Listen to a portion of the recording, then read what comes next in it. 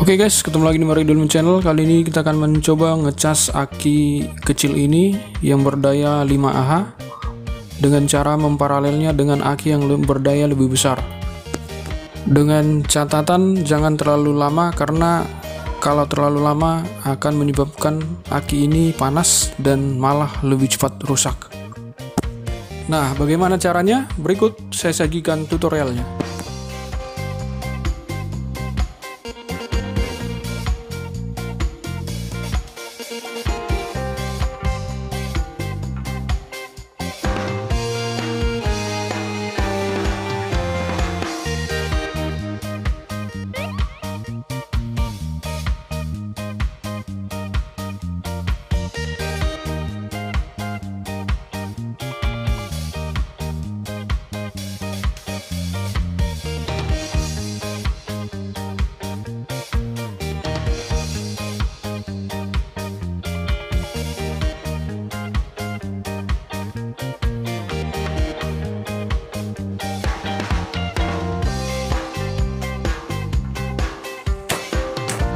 Oke, sekarang kita akan cas.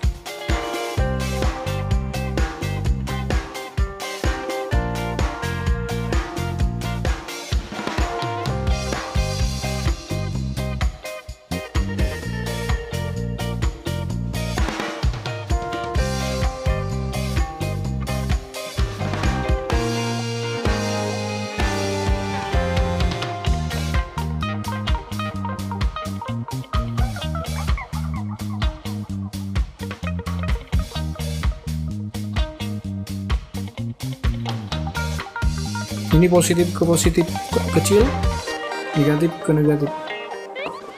Kita tunggu 1 hingga 2 jam.